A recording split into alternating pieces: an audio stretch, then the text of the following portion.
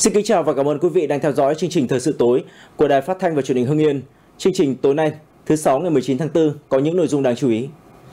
Đồng chí Bí thư tỉnh ủy thăm tặng quà gia đình chính sách, chiến sĩ Điện Biên nhân kỷ niệm 70 năm chiến thắng Điện Biên Phủ.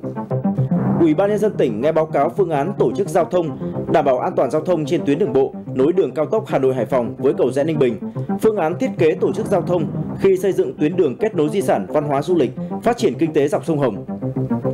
Khói Châu sẵn sàng cho ngày lấy ý kiến cử tri về sắp nhập địa giới hành chính cấp xã. Xử phạt hai công ty xả thải trái phép 700 triệu đồng. Cần sớm làm rõ đối tượng đổ chất thải công nghiệp lấp ao xảy ra tại xã Trung Hưng, huyện Yên Mỹ. Nhân kỷ niệm 70 năm chiến thắng lịch sử Điện Biên Phủ, sáng nay, đồng chí Nguyễn Hữu Nghĩa, Ủy viên Ban chấp hành Trung ương Đảng, Bí thư tỉnh ủy đã đến thăm tặng quà một số gia đình chính sách, chiến sĩ Điện Biên ở huyện Ân Thi. Cùng đi có đồng chí Quách Thị Hương, Ủy viên Ban Thường vụ tỉnh ủy, trưởng Ban dân vận tỉnh ủy, Chủ tịch Ủy ban Mặt trận Tổ quốc Việt Nam tỉnh. Tại xã Bãi Sậy, huyện Ân Thi, đồng chí Bí thư tỉnh ủy cùng đoàn đã đến thăm và tặng quà cho gia đình bà mẹ Việt Nam anh hùng Nguyễn Thị Hiếu và trao 80 triệu đồng kinh phí hỗ trợ xây nhà đại đoàn kết. Thăm gia đình liệt sĩ Nguyễn Văn Liêng, chiến sĩ Điện Biên Nguyễn Văn Củng, Tại các gia đình đến thăm, đồng chí Bí thư tỉnh ủy Nguyễn Hữu Nghĩa đã ân cần hỏi thăm sức khỏe, đời sống của các gia đình. Đồng chí bày tỏ sự trân trọng biết ơn đối với những cống hiến hy sinh to lớn của các gia đình chính sách, chiến sĩ Điện Biên đã góp phần làm nên chiến thắng Điện Biên Phủ, lừng lẫy Nam Châu chấn động địa cầu. Bí thư tỉnh ủy mong muốn các gia đình cách mạng chiến sĩ Điện Biên giữ gìn sức khỏe, tiếp tục là tấm gương sáng, động viên con cháu chấp hành tốt các chủ trương đường lối của Đảng, chính sách, pháp luật của nhà nước, phát huy truyền thống cách mạng của quê hương, tích cực học tập, lao động, sản xuất, góp phần vào sự nghiệp xây dựng tỉnh ngày càng phát triển. Đồng thời yêu cầu cấp ủy chính quyền địa phương tiếp tục quan tâm chăm lo đời sống vật chất tinh thần cho các gia đình chính sách người có công với cách mạng trên địa bàn, thể hiện truyền thống đạo lý uống nước nhớ nguồn của dân tộc. Sáng nay, Ủy ban nhân dân tỉnh tổ chức hội nghị nghe báo cáo phương án tổ chức giao thông bảo đảm an toàn giao thông trên tuyến đường bộ nối đường cao tốc Hà Nội Hải Phòng với cầu Rẽ Ninh Bình và phương án thiết kế tổ chức giao thông khi xây dựng tuyến đường kết nối di sản văn hóa du lịch, phát triển kinh tế dọc sông Hồng. Đồng chí Trần Quốc Văn, Phó Bí thư tỉnh ủy, Chủ tịch Ủy ban nhân dân tỉnh chủ trì hội nghị. Cùng dự có đồng chí Nguyễn Hùng Nam, Phó Chủ tịch Ủy ban nhân dân tỉnh và các sở ngành liên quan, lãnh đạo các huyện, thành phố có tuyến đường đi qua. Để phát huy tối đa hiệu quả dự án đường nối hai cao tốc đối với sự phát triển kinh tế xã hội của tỉnh, hài hòa với lợi ích nhu cầu sinh hoạt của nhân dân, Sở Giao thông Vận tải đề xuất phương án tổ chức giao thông.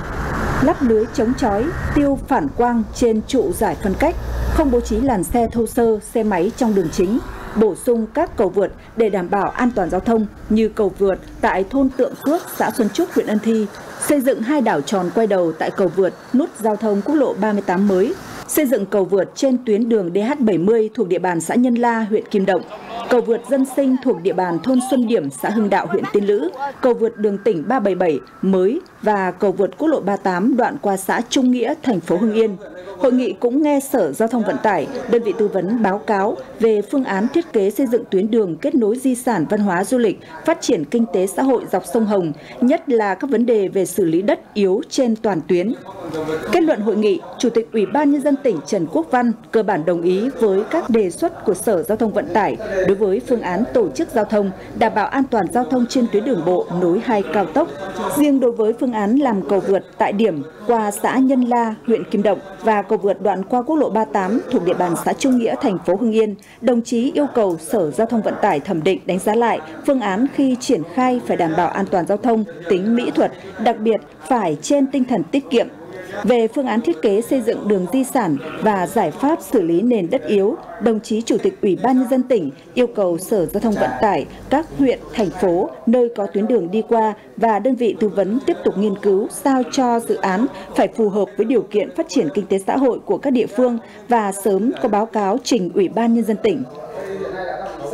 Sáng nay, Ban Quản lý các khu công nghiệp tỉnh Hưng Yên tổ chức hội nghị công bố quyết định của Ủy ban nhân dân tỉnh Hưng Yên về việc bổ nhiệm trưởng Ban Quản lý các khu công nghiệp tỉnh. Sự hội nghị có đồng chí Trần Quốc Văn, Phó Bí thư tỉnh ủy, Chủ tịch Ủy ban nhân dân tỉnh. Theo quyết định số 775 ngày 15 tháng 4 năm 2024 của Ủy ban Nhân dân tỉnh Hưng Yên, bổ nhiệm đồng chí Vũ Quốc Nghị, Phó trưởng ban phụ trách Ban Quản lý các khu công nghiệp tỉnh Hưng Yên, giữ chức trưởng Ban Quản lý các khu công nghiệp tỉnh thời hạn 5 năm từ ngày 15 tháng 4 năm 2024. Chủ tịch Ủy ban Nhân dân tỉnh Trần Quốc Văn đánh giá cao tầm quan trọng của Ban Quản lý các khu công nghiệp tỉnh là nơi đào tạo nhiều cán bộ của tỉnh trưởng thành, trong đó có đồng chí Vũ Quốc Nghị. Ban có vai trò quan trọng trong cải thiện môi trường đầu tư cũng như thu hút các dự án vào các khu công nghiệp tỉnh Hưng Yên, đặc biệt là những dự án lớn, dự án quan trọng, dự án FDI và dự án trong nước. Trên vai trò là trưởng ban quản lý các khu công nghiệp tỉnh, đồng chí Vũ Quốc Nghị cần tiếp tục phát huy năng lực, trách nhiệm, tinh thần đoàn kết của cán bộ trong ban, tích cực tham mưu cho tỉnh để cải cách thủ tục hành chính là đầu mối để giới thiệu, quảng bá, thu hút các doanh nghiệp đầu tư vào các khu công nghiệp tỉnh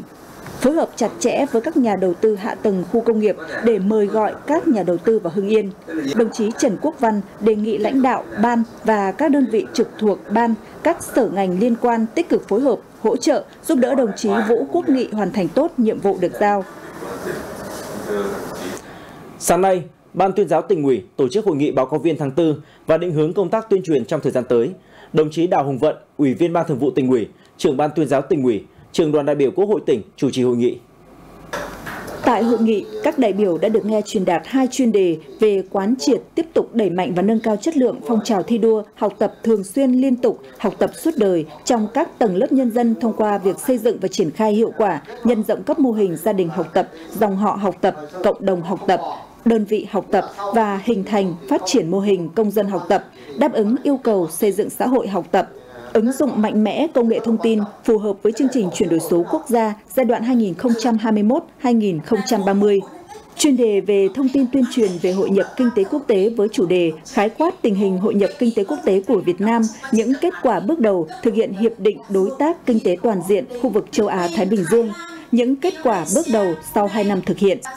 Định hướng công tác tuyên truyền trong thời gian tới, Ban tuyên giáo tỉnh ủy yêu cầu đẩy mạnh thông tin tuyên truyền sâu rộng, kịp thời kết quả phát triển kinh tế xã hội quý 1, tầm quan trọng xây dựng các dự án trọng điểm như đường vành đai 4, đường Tân Phúc Võng Phan và tuyến đường kết nối di sản văn hóa du lịch phát triển kinh tế dọc sông Hồng. Tăng cường tuyên truyền về công tác triển khai thực hiện sắp xếp đơn vị hành chính cấp xã giai đoạn 2023-2025 trên địa bàn tỉnh. Thủ tướng Chính phủ vừa ký công điện chỉ đạo yêu cầu các bộ, ngành, cơ quan liên quan, các địa phương thực hiện các nhiệm vụ, giải pháp cụ thể nhằm bảo đảm cung ứng đủ điện cho miền Bắc. Theo đó, tập trung chỉ đạo việc lựa chọn nhà đầu tư, triển khai nhanh các dự án nguồn điện trong quy hoạch, kế hoạch điện 8, bảo đảm kịp thời bổ sung nguồn điện mới đáp ứng nhu cầu tăng trưởng phụ tải hàng năm. Để bảo đảm mục cung ứng điện cho miền Bắc, các nhà máy nhiệt điện Than, Công Thanh và Nam Định 1 báo cáo tiến độ hoàn thành trước ngày 1 tháng 7 năm 2024 Ủy ban quản lý vốn nhà nước tại doanh nghiệp chỉ đạo EVN đẩy nhanh tiến độ triển khai các dự án đường dây 500 kV mạch 3 từ Quảng Trạch đến phố nối để đưa vào sử dụng trước ngày 30 tháng 6 năm 2024. Các dự án truyền tải điện từ Lào để kịp thời bảo đảm cung ứng điện cho miền Bắc, tăng cường tiết kiệm điện giai đoạn 2023-2025 và các năm tiếp theo, hướng dẫn khuyến khích sáng tạo trong thực hiện công tác tiết kiệm điện đạt hiệu quả cao nhất.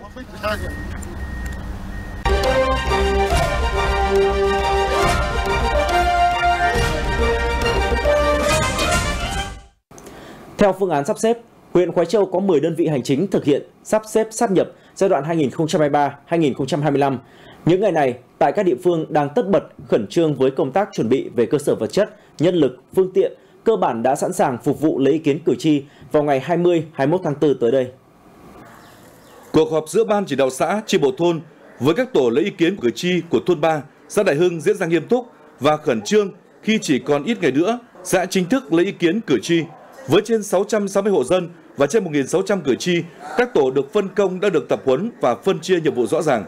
Công tác kiểm soát phiếu lấy ý kiến được ra soát kỹ lưỡng lần cuối để đảm bảo không có sai sót đi xuống từng hộ lấy ý kiến nếu có vấn đề gì thì chúng tôi phải báo cáo với các đồng chí trưởng thôn để có cái phương hướng tổ chức để triển khai và tháo gỡ. Riêng đối với thôn 3 chúng tôi thì là thành lập hai tổ và mỗi một tổ này là thành lập bốn nhóm nhỏ. Cái lòng cốt là đảng viên và quần chúng và những người có cái uy tín trong thôn trong xã. Các tổ này là đảm nhiệm làm sao từng ngõ từng nhà làm đúng và làm trúng đảm bảo là công khai minh bạch. Xã Đại Hưng sẽ sắp nhập với xã Chi Tân giai đoạn này Xã có tổng số 2.400 hộ với gần 6.000 cử tri. Xã có 4 thôn được chia làm 8 tổ, mỗi tổ 12 thành viên do bí thư trưởng thôn làm tổ trưởng. Đến nay mọi công tác chuẩn bị của các thôn đều đã sẵn sàng. Ngoài ra, xã tiếp tục chỉ đạo các tổ thường xuyên xuống cơ sở nắm bắt tình hình, tuyên truyền tạo đồng thuận trong nhân dân, đồng thời chủ động các phương án bố trí tổ công tác cấp xã trực để tiếp nhận các phản ánh, bổ sung sửa chữa thông tin và đảm bảo an ninh trật tự trong những ngày này. Hai cái xã này chúng tôi nó có tương đồng về mặt văn hóa, lịch sử để lại. Tên của cái xã mới này thì nó đã có từ những năm 1946 đến 49. Khi mà sát nhập lại thì chúng tôi cái địa lý hành chính nó được giao lưu, tinh gọn được cái bộ máy hành chính. Đến thời điểm này mọi công tác chuẩn bị cho cái ngày 20 21 lấy ý kiến cử tri chúng tôi đã sẵn sàng. Thế và tiếp tục tổ chức giả soát, tập trung tuyên truyền vận động bằng mọi hình thức đối với ban chỉ đạo xã, chỉ đạo các tổ cũng như là ban chỉ quân sự, ban công an xã tiếp tục nắm bắt tình hình đảm bảo an ninh trật tự cho cái ngày lấy ý kiến cử tri để đảm bảo được kết quả cao nhất. Qua giả soát đến ngày 15 tháng 4, tổng số cử tri của 10 xã thị trấn thực hiện sắp xếp, sắp nhập của huyện Quai Châu là trên 52.000 cử tri tại trên 22.000 hộ gia đình. Số tổ lấy ý kiến được thành lập là 47 tổ. Ban chỉ đạo sắp xếp đơn vị hành chính huyện tập trung lãnh đạo, chỉ đạo giải quyết những đề xuất kiến nghị chính đáng của các địa phương, hướng dẫn các bước thực hiện để công tác lấy ý kiến thành công. Thời điểm này, mọi công tác chuẩn bị tại các xã đều đã hoàn tất. Cán bộ đảng viên và các tầng lớp nhân dân đều bày tỏ quan điểm đồng thuận nhất trí cao. Kể từ ngày hôm nay trở đi là chúng tôi tiến hành sẽ cho các tổ đi đến trực tiếp các nhà dân đấy để tuyên truyền vận động và như vậy nêu cao cái ý thức trách nhiệm của từng người dân đối với công tác sát nhập đơn vị hành chính. Huyện Quái Châu sẽ tiến hành lấy ý kiến cử tri vào hai ngày 20 và 21 tháng 4. Kết quả đạt được từ việc lấy ý kiến cử tri tại các địa phương là cơ sở để thông qua chủ trương, tạo hành lang pháp lý thực hiện thành công đề án, đồng thời khẳng định tinh thần đoàn kết đồng thuận cao của nhân dân đối với chủ trương của Đảng, Nhà nước. Thực hiện chủ trương tổ chức sắp xếp lại đơn vị sự nghiệp công lập trên địa bàn tỉnh giai đoạn 2023-2025, từ đầu năm 2024 đến nay, huyện Phù Cử đã hoàn thành việc sáp nhập 8 trường tiểu học và trung học cơ sở trên địa bàn huyện. Huyện Phù Cử đã hoàn thành việc sắp nhập 8 trường tiểu học và trung học cơ sở thành 4 trường liên cấp tiểu học và trung học cơ sở tại 4 xã Nguyên Hòa, Nhật Quang, Minh Tân và Phan Sầu Nam. Trước đó, đã hoàn thành việc sắp nhập 4 trường tiểu học và trung học cơ sở tại hai xã Tiên Tiến và Minh Hoàng. Bước đầu việc sắp nhập trường liên cấp tiểu học và trung học cơ sở mang lại hiệu quả như phù hợp với quy hoạch mạng lưới trường học, khắc phục tình trạng thừa thiếu giáo viên, tinh gọn bộ máy quản lý trong nhà trường, tiết kiệm ngân sách nhà nước, góp phần nâng cao chất lượng giáo dục. Huyện đang từng bước ra soát chất lượng giáo dục và đội ngũ giáo viên học sinh tiến hành sắp nhập trường liên cấp của xã Minh Tiến, Tiên Tiến từ việc sắp nhập xã. Vừa qua, tại thị xã Mỹ Hào, Sở Giáo dục và Đào tạo tỉnh Hưng Yên tổ chức bế mạc hội thi giáo viên dạy giỏi môn tiếng Anh tiểu học cấp tỉnh năm học 2023-2024.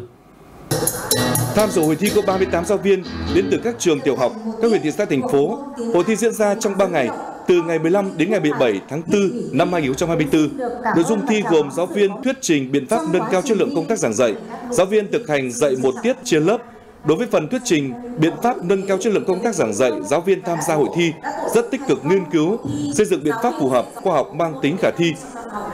có khả năng ứng dụng trong toàn ngành. Tiêu biểu trong phần thi này có cô giáo Nguyễn Thị Quỳnh Mai, huyện Tiên Lữ, Phan Thị Ngọc Ly, Nguyễn Thị Ngọc Mai thị xã Mỹ Hào, Đỗ Thị Hồng huyện Khói Châu. Đối với phần thi thực hành các giáo viên đều chuẩn bị kỹ lưỡng đồ dùng, phương tiện dạy học, học liệu phong phú, vận dụng đa dạng các phương pháp và kỹ thuật dạy học tích cực phù hợp với môn tiếng Anh. Tiêu biểu như tiết dạy của cô giáo Phạm Thị Luyên, huyện Phù Cử,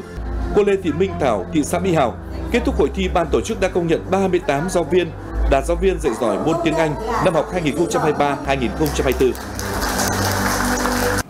Hiệp hội Du lịch tỉnh Hưng Yên vừa tổ chức hội thảo xây dựng điểm đến du lịch Hưng Yên năm 2024. Tỉnh Hưng Yên đứng thứ ba toàn quốc về số lượng di tích cụm di tích được xếp hạng cấp quốc gia. Hưng Yên còn có 8 hiện vật, nhóm hiện vật được công nhận là bảo vật quốc gia cùng hàng ngàn tư liệu cổ vật có giá trị, các làng nghề truyền thống, ẩm thực phong phú và đặc sắc. Đồng thời, hiện nay Hưng Yên đã có những khu đô thị lớn với nhiều dịch vụ giải trí hấp dẫn, những địa điểm nghỉ dưỡng lý tưởng, có nhiều tiềm năng để phát triển du lịch.